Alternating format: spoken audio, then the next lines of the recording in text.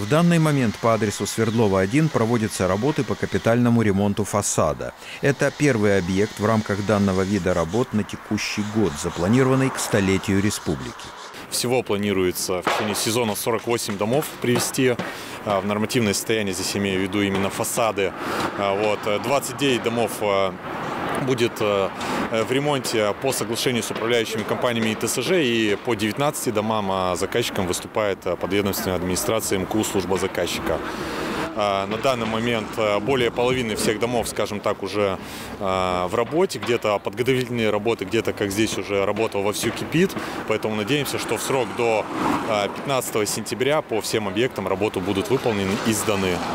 На моей памяти вот в советское время вот к Дню города э, ремонтировали немножко фасады. И более такая масштабная, наверное, была 300-летие города в 2003 году, да, 17 лет назад. Но вот сейчас, наверное, там впервые такие работы.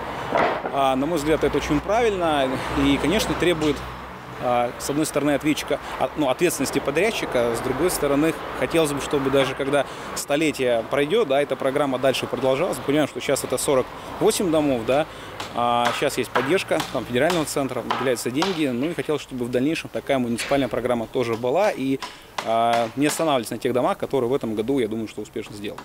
А, еще бы хотел, наверное, обратить внимание на контроль, потому что он, конечно, должен быть с точки зрения комитета ЖКХ, наверное, плане э, ну, технологичности, срока выполнения работ.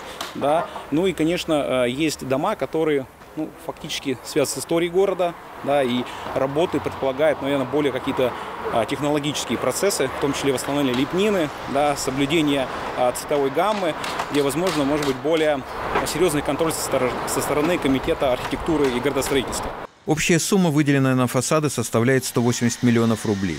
Деньги выделены в рамках подготовки к столетию Республики Карелия.